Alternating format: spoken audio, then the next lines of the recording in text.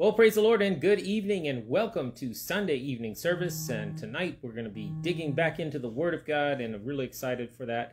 And uh, we do uh, have a prayer uh, request tonight, and so I'm about to give that uh, to you. And it is a prayer request that came in from Jordine, and she's asking. Uh, she, here's the prayer request. I'll read it to you. Uh, Katie's mom had a double lung transplant a little more than a year ago and her husband was just diagnosed with COVID 19 while being vaccinated. Please pray her mom does not get sick and healing for her dad. And uh, we just want to pray right now for Katie's parents. Uh, let's let's go to the Lord and we'll pray for them and we'll pray for the service.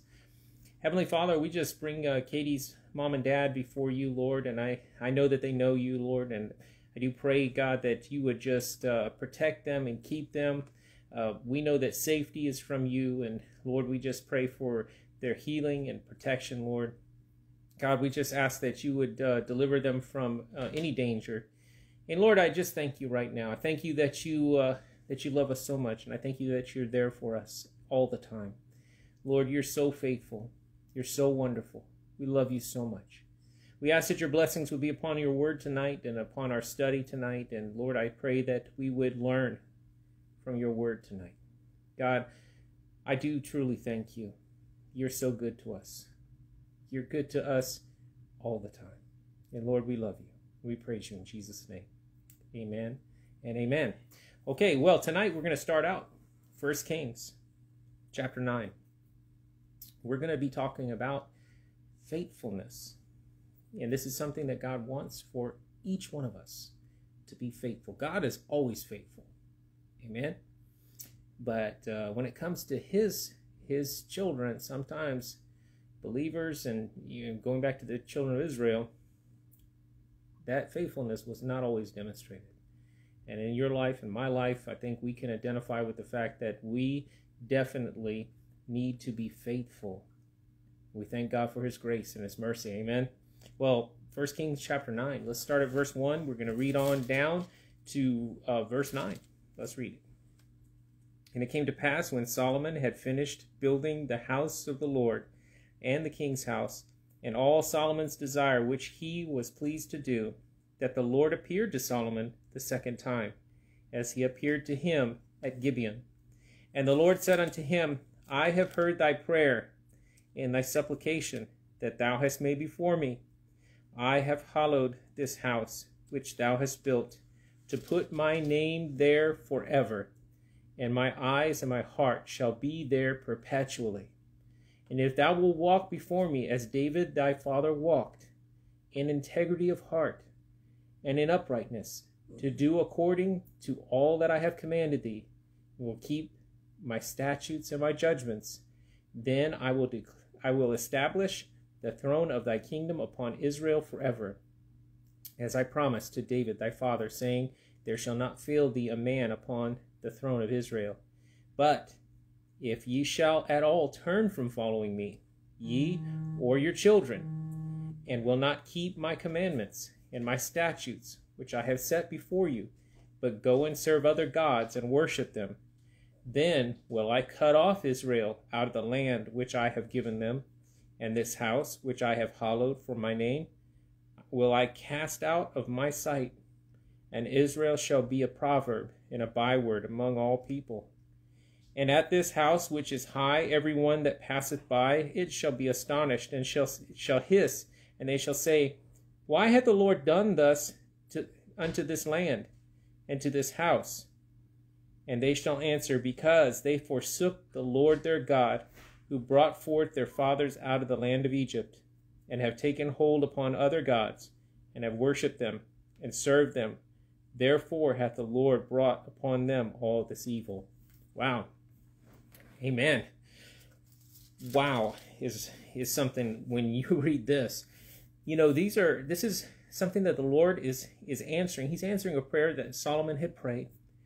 And God had said that that house that Solomon had built, the temple that he had built, that God was going to put his name uh, there forever, that his eyes and his heart shall be there perpetually. I mean, the Lord, I mean, think about that. He said that his name, his eyes, and his heart shall be there perpetually.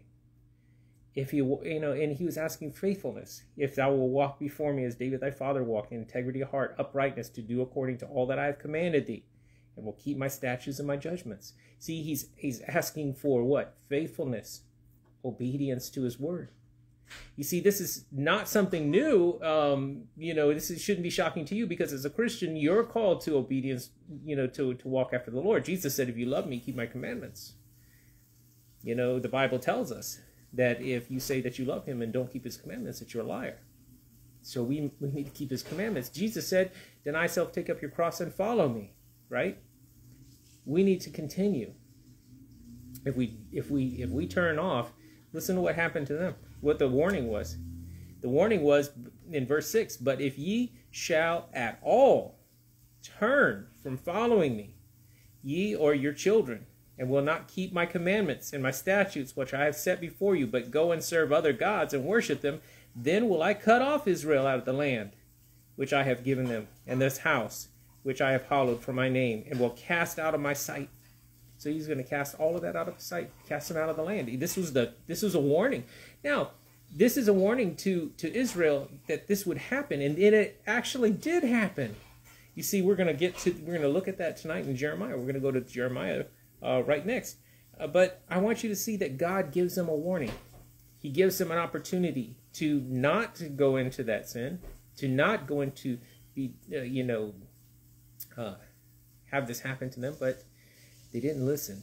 And let's go to Jeremiah chapter 1. We'll start there. Well, chapter 2, actually. Jeremiah chapter 2, starting at verse 1.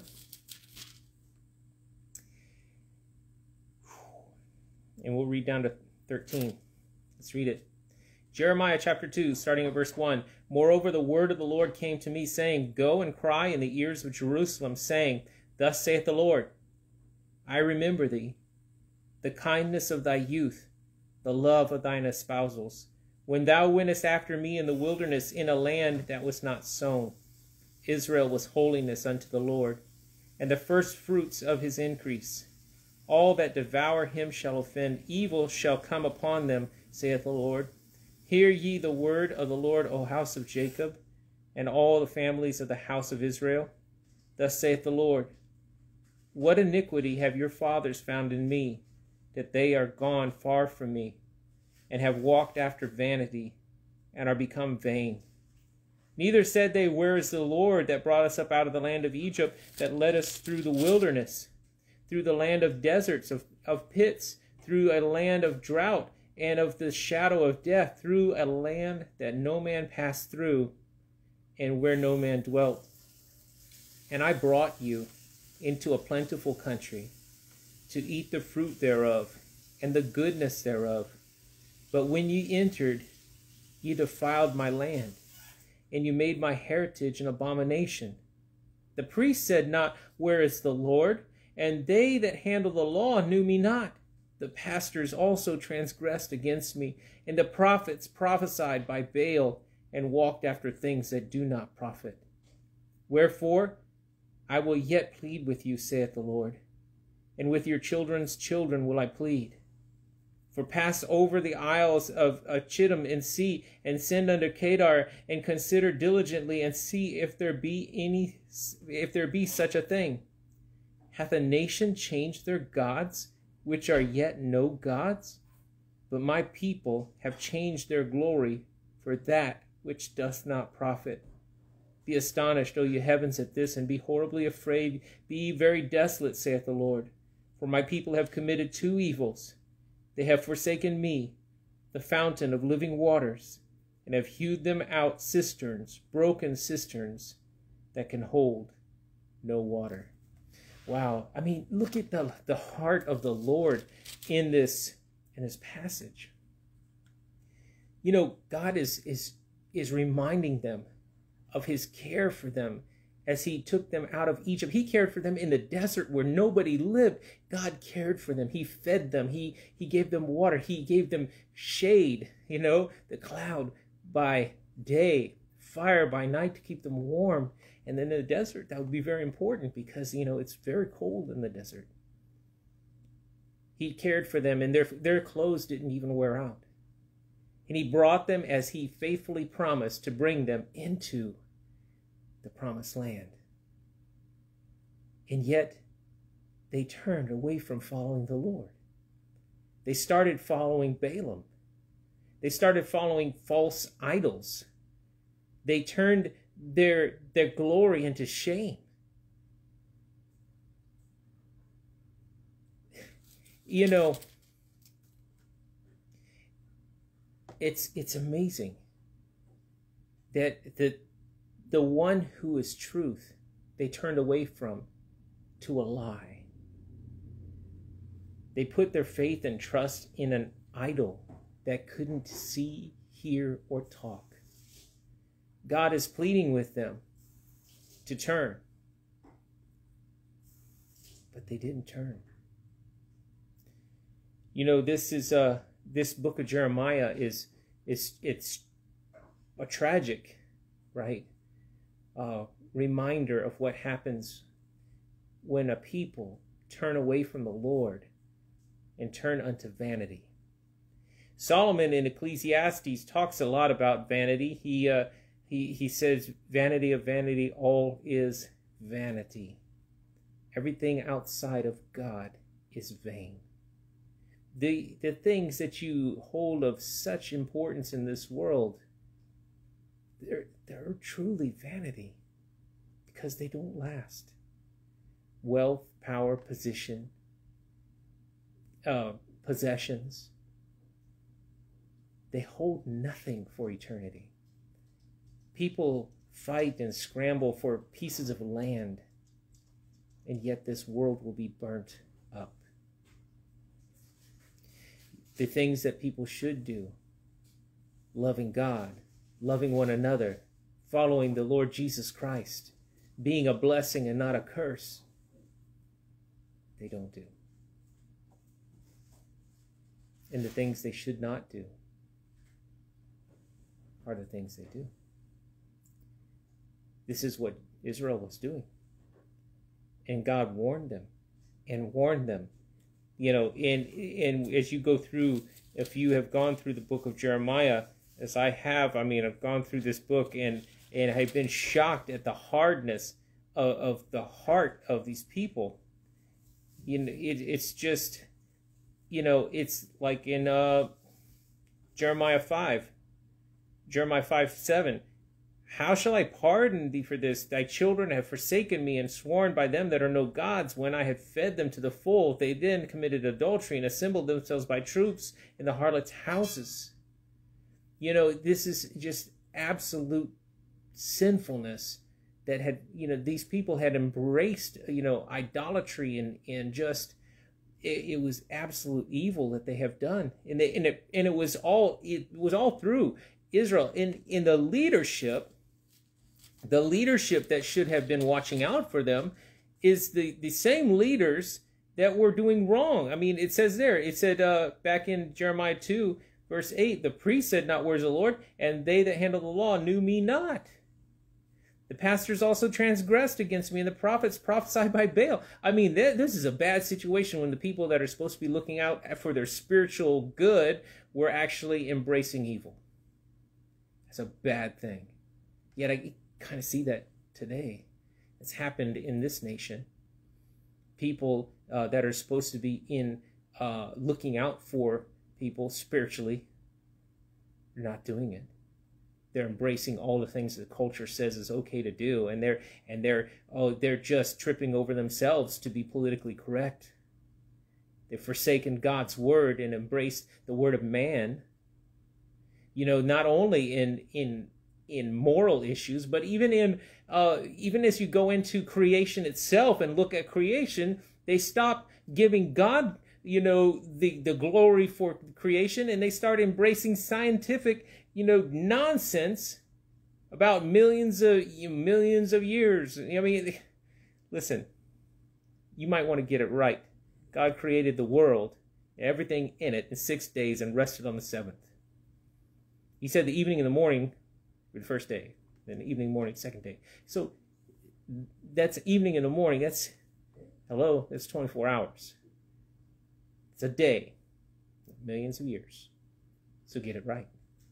Amen. Trust what God said. If you don't trust what He said, then you're calling Him a liar. But the Bible says, let man is, you know, let every man be a liar, but God be true. God is the one who tells the truth. God is true. He is the truth.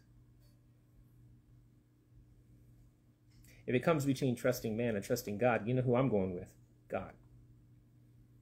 And I pray that you're going with God too. Let's read let's read on what happened. Jeremiah, go if you would all the way to chapter 39. Zedekiah, uh, king of Judah, had been warned by Jeremiah. He had been told, given opportunities by God to turn from sin so that Israel would not experience what they're about to experience. But at every turn, didn't listen, hardened his heart. Let's read Jeremiah 39, starting at verse 1. In the ninth year of Zedekiah, king of Judah, in the tenth month, came Nebuchadnezzar, king of Babylon, and all his army against Jerusalem, and they besieged it. And in the eleventh year of Zedekiah, in the fourth month, the ninth day of the month, the city was broken up. And all the princes of the king of Babylon came in and sat in the middle gate, even Nergal Shazir, uh, Samgar Nebo, Sarsh, Sarschem, um, Nergal, Rezar, uh, Rabmag, with all the residue of the princes of the king of Babylon. And it came to pass that when Zedekiah the king of Judah saw them and all the men of war, then they fled, and they went forth out of the city by night by the way of the king's garden, by the gate betwixt two walls, and he went out the way of the plain. But the Chaldeans' army pursued after them, and overtook Zedekiah in the plains of Jericho. And when they had taken him, they brought him up to Nebuchadnezzar, king of Babylon, to Riblah in the land of Hamath, where he gave judgment upon him. Then the king of Babylon slew the sons of Zedekiah in Riblah before his eyes. Also the king of Babylon slew all the nobles of Judah. Moreover, he put out Zedekiah's eyes and bound him with chains to carry him to Babylon. This is a tragic end to Zedekiah. And it's a it is a absolute stern warning for us about not hardening our hearts towards the Lord, about heeding his his his warnings in his word, about listening to what God says and not hardening our hearts. Zedekiah witnessed the deaths of all of his sons. They were they were killed before his eyes, and all the nobles of Judah, all of those those uh you know those political uh, folks killed before his eyes, and then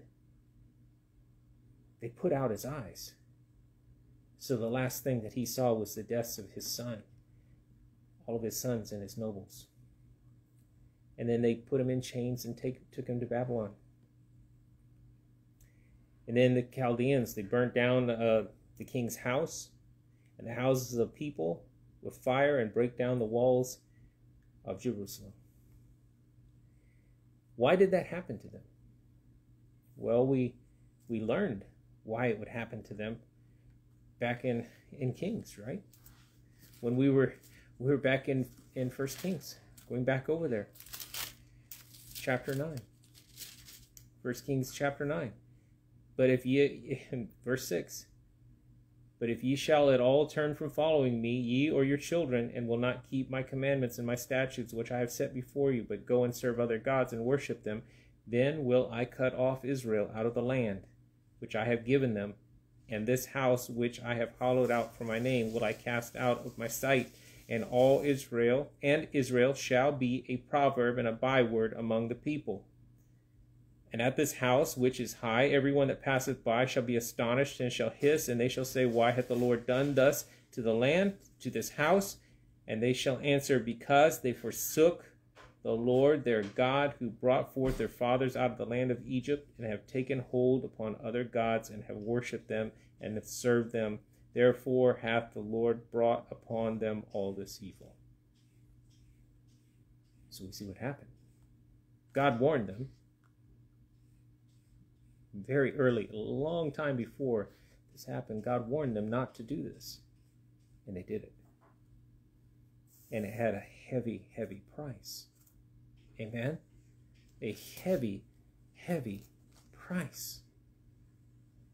And yet God warns us as the church, you know, he, he, he gives warning after warning to us today, you know, about enduring to the end, to be an overcomer, to not put your hands to the plow and look back.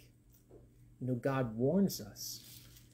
He he sends he give us he gave us his word so that way we would be able to to go through all of the things in this life that we will need to face we can face them because we have the lord's word we have the holy spirit the comforter we have we have uh, you know we have what we need in order to do what god called us to do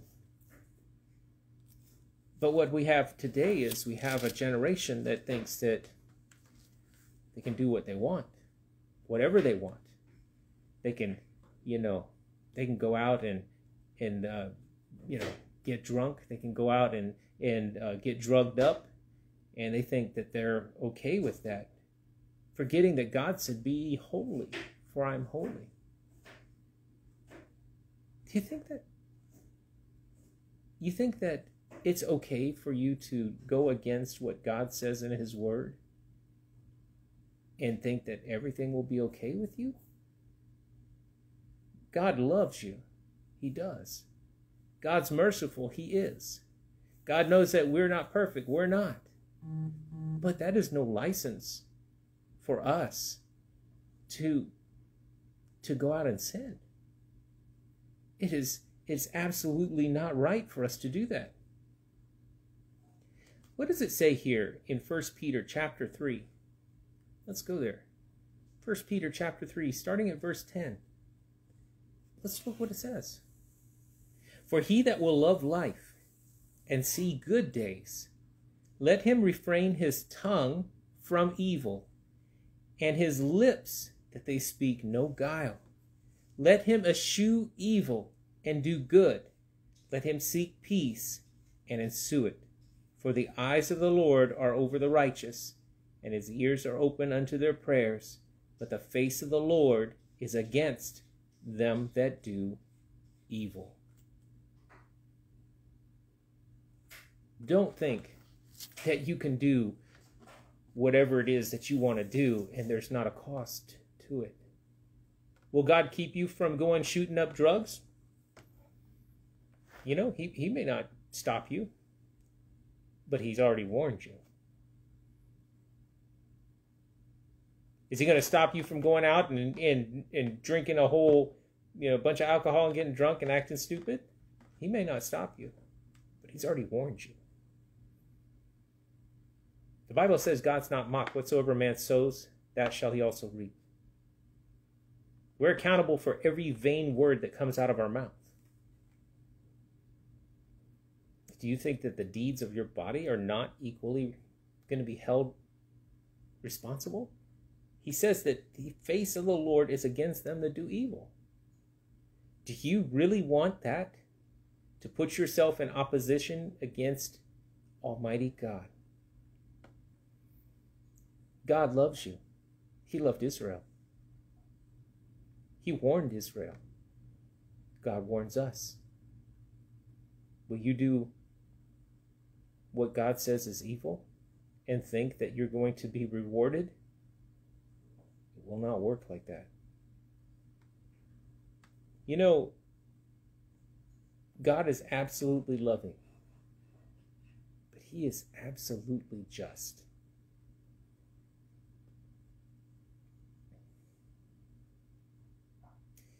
You know, there is so much in His Word so many things that God warns us of. So many things where he says, you know, that, that we need to listen to. He that has ears, let him hear.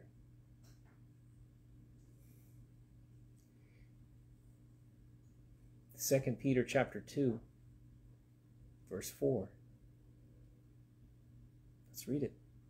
Second Peter chapter 2, verse 4 says, For if God spared not the angels that sinned, but cast them down to hell, and delivered them into chains of darkness to be reserved unto judgment, and spared not the old world, but saved Noah, the eighth person, a preacher of righteousness, bringing in the flood upon the world of the ungodly, and turning the cities of Sodom and Gomorrah into ashes, condemned them with an overthrow, making them an example unto those that after should live ungodly, and delivered just Lot, vexed with the filthy communication of the wicked. For that righteous man dwelling among them in seeing and hearing vexed his righteous soul from day to day with their unlawful deeds. The Lord knoweth how to deliver the godly out of temptations, and reserve the unjust unto the day of judgment to be punished. But chiefly them that walk after the flesh in the lust of uncleanliness and despise government Presumptuous are they, self willed. They are not afraid to speak evil of dignities. Imagine this that, that God is saying here, showing us and giving us examples about what happens when you live ungodly. When you, I mean, He didn't even spare the angels that sinned. The angels that sinned were cast down to hell.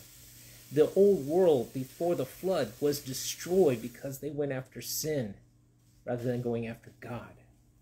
Sodom and Gomorrah turned to ashes, burnt up as an example to those who after should live ungodly. Lot was delivered but his soul was vexed with their filthy communication, but God delivered it. So God's showing you that he can deliver you in this generation. At this time, he can deliver you. You're faithful. But if you go this direction, it says, The Lord knoweth how to deliver the godly out of temptations. He knows how to deliver you.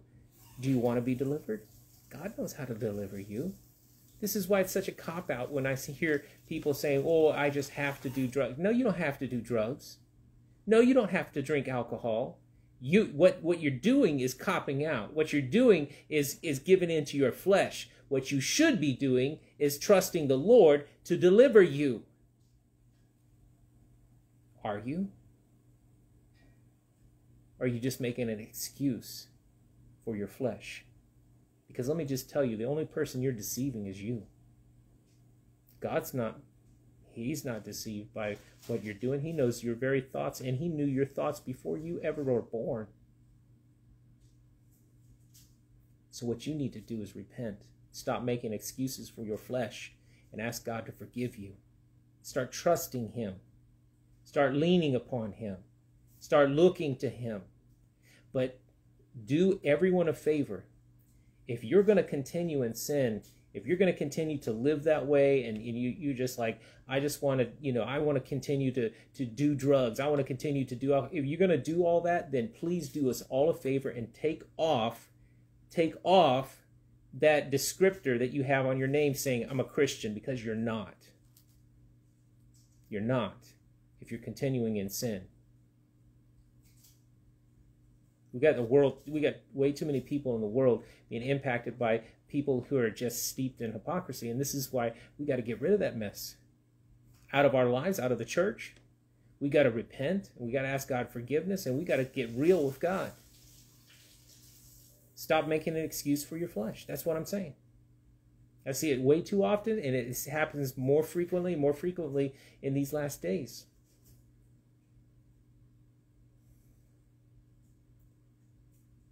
Everybody's blaming somebody about what's going on. You know what? Listen, every person that's born on this in this on this planet, every person that's born has got something that they're going through. What you're something that you're going through is different than my something that I'm going through, you know. But everything that everybody's going through, everybody on the planet has experienced these kinds of things. Where the Bible says there's nothing new under the sun. So instead of saying, oh, well, the world owes me this because I've gone through, I've had a hard life, I've had this happen, I had that happen, and there, and there are some tragic things that have happened. I, I will 100% say, yes, I understand. I know about tragic things. But instead of saying that you're owed something, instead of saying that you're going to default to um, bad behavior, sinful behavior because, you know, this happened to you, oh, you know, uh, you had a rough childhood, so now you're going to just be mean to everyone you're going to be evil with everyone. You're going to talk bad about people, or you're going to, or you had a rough time in your in your life. Something happened to you, and you, when you were in school, so now you do drugs to try to cope with that. No, let me just tell you something right now. You need to put the drugs away, and you need to trust Jesus Christ. You need to put your faith and trust in God because God knows how to deliver you out of temptations. He knows how to deliver you if you want to be delivered. Is your faith real? Because we've had too many fake Christians throughout history. The Jewish people, look at what they were doing. They're pastors, they're leaders, they're priests. They weren't, they had the title, but they weren't following him. They weren't doing what they're supposed to be doing. They were following Baal, an idol. And today we have the same thing in the Christian church. We have people that have the title Christian, but they're not following Christ. Jesus said, If you love me, keep my commandments. But we got people today that say, Oh, I, you know, you don't understand what I've been through. You know what? I personally may not understand what you've been through, but I can tell you right now, God knows what you've been through. He wasn't sleeping somewhere when all that happened to you. He very well knows what happened to you. And he expects you to put your faith and trust in Him, He'll see you through. He'll get you through. Don't you remember Psalm 23? Yea, though I walk through the valley of the shadow of death, thou art with me. He's right there. You don't need drugs. You don't need alcohol. You don't need any of the vices. You don't need any of this stuff. You just need trust in the Lord. Put your faith and trust in Him. He will never let you down. He will see you through the darkest valley. He will be right there with you. Don't make excuses. Repent. Ask God forgiveness. We got a job to do. We can't do it when we're broke. And a lot of the church today is broke. So let's get it right with God. Repent, ask His forgiveness, and let's start following Him and doing what He called us to do. We've got a whole big world of people out there that need Jesus Christ. We have to be faithful in our words, in our thoughts, and in our actions. Faithful. Put your hands to that gospel plow and don't look back. Amen. Well, it's a little early tonight, but God bless you. That's all I got for you. Remember, God doesn't lie. He tells the truth at all times. Jesus is the way, the truth, and the life. And He's told you. You got to keep His commandments.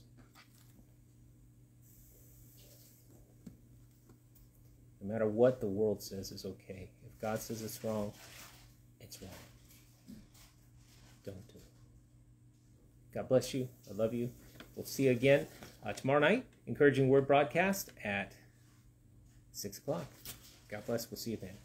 Have a blessed night in Jesus.